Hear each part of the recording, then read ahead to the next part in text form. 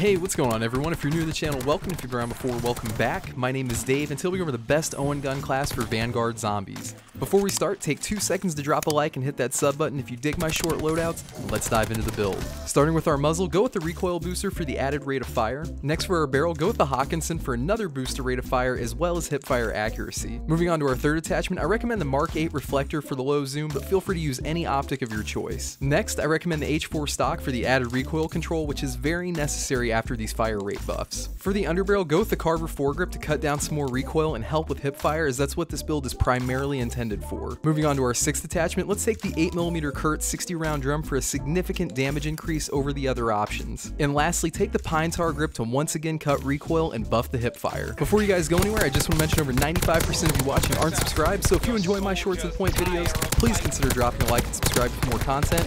Anyway, I hope you all dig the build, and I'll see you all next time. Peace.